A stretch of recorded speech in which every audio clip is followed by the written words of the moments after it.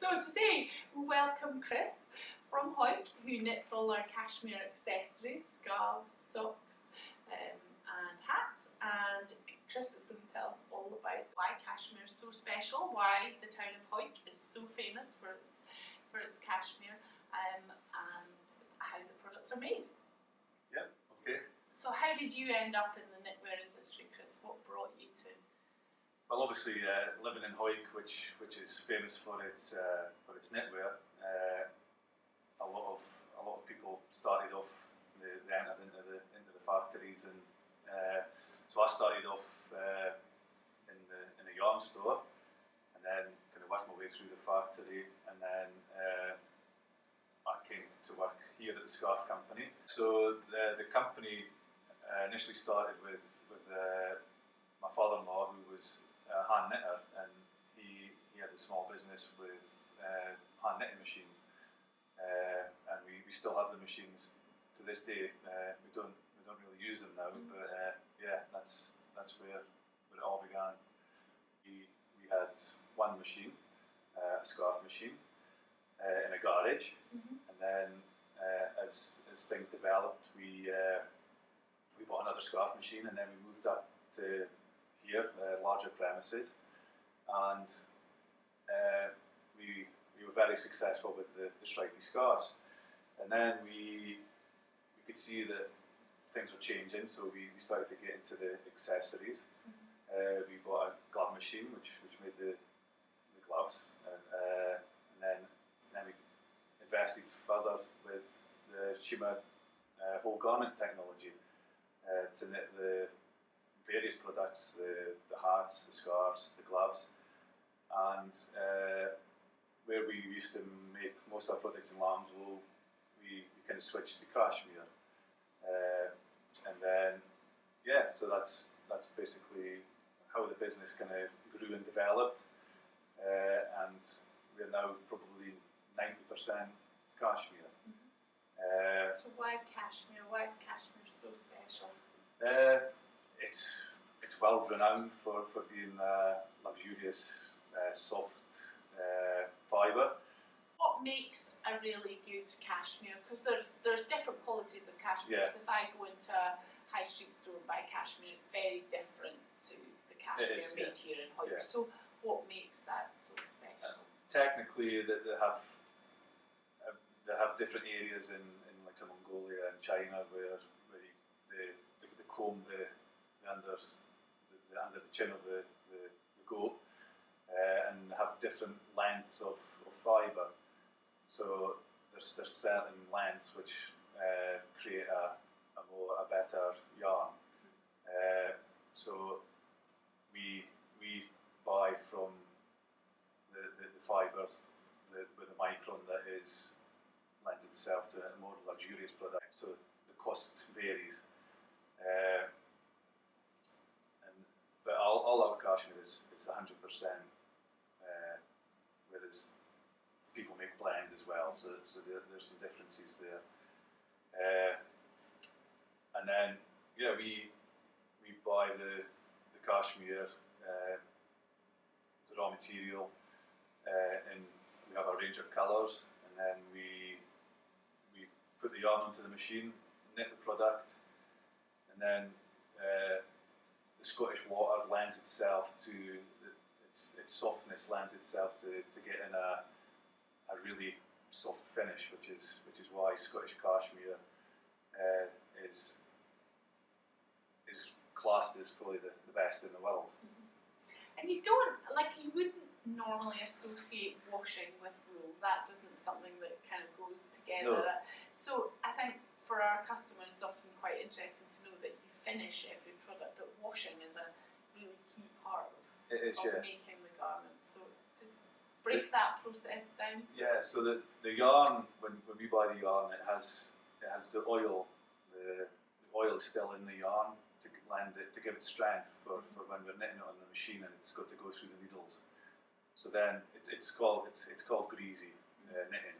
So then when the product comes off the machine, we uh, we we're taking the, the oil out of the, the yarn when we wash it, uh, and that makes it soft. So so cashmere is not really something that you, want to be washing after after the initial the initial wash. So uh, it's more more like a hand wash. Mm. Uh, Yeah. So uh, and then and then we we press it and uh, target.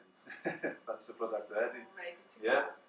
So when we were talking about finishing, this is the scarf, a cable knit scarf, in its greasy state before it is finished and washed. And then you can see the beautiful softness and finish of the scarf once it's been through the, the washing process. And so tell us about the two machines that we looked at, because we, we looked at the older um, sock machine and then we looked at the really Yeah. flash new one. So Yeah. how's technology moved on? Yeah, so so like so the older one in the in the film was uh, it was a British made one uh, from probably 50, 60 years ago, and uh, it was more mechanical. But as electronics were, were developing and uh, other companies were, were trying to think of ways to improve the, the efficiency and, and, and bring more uh, styles into it, uh, it, it's moved on, and, and the, the electronic machine that's in the film uh, is is the latest, the latest one uh, on the market, and you can do stripes and uh, different kinds of stitches, and and it also links the links the toe. So basically, when the sock comes off the machine, it's it's finished, and you, you just wash it uh, and then and then press it. Whereas the old machine, there was a, a lot more work to do to it after it came off the machine. You had to you had to link it, uh, and then there was some other processes involved with the linking to, to get the final product. So so yeah, uh, technology uh, has, has certainly moved on. Yeah, cut down on your sewing skills Yeah. required. So, Chris, we were looking at the sock machine uh, and how that works. So, can you talk us through the, the process? What happens to, as a sock? Yeah, so uh, obviously you have to thread the machine up with the with the right yarn, and then uh, it's a it's called circular knitting. So the the, the yarn feeder comes in and, and the and the cylinder turns round, and it knits the sock uh, circular tubular. So it knits the the cuff first, and then it moves down the leg, and then it, it knits the, the heel, and then the, the foot of the, the sock. And then the clever part about the, the new machines is is that the, you'll, you'll notice that the, the head opens up, and then the, the linking arm comes across, picks the sock up, transfers all the needles, and then takes the sock across to the, the linking device, and then and then you'll see the, the, the kind of sewing device which which closes the toe, and then once it's finished, uh, the sock goes around the tube and comes out finished.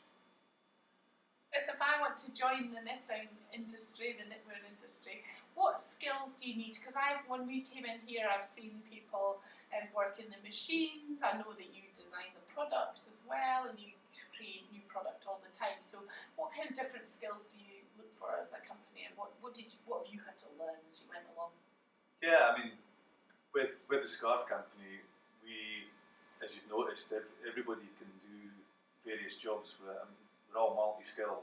Uh, you need you need some technical knowledge on, on running the machines because they, they don't always uh, go to plan. So so you need to understand what the what the issues are with them.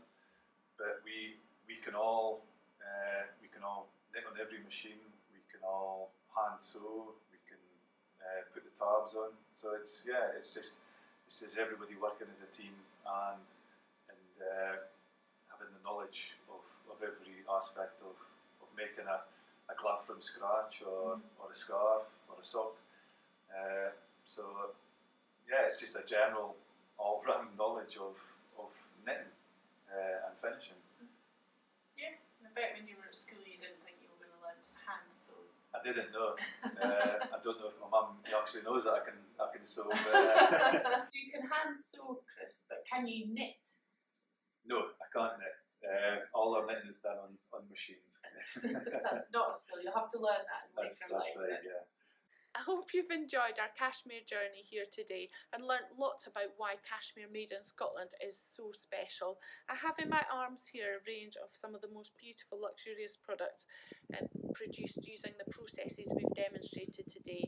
Anything from men's gloves, fingerless, full finger, lovely triple ply so you've got proper warmth there, cable knit um, socks which you saw on our favourite sock machine and my favourite product the wristlet, perfect for hanging out your washing and doing your texting on the go.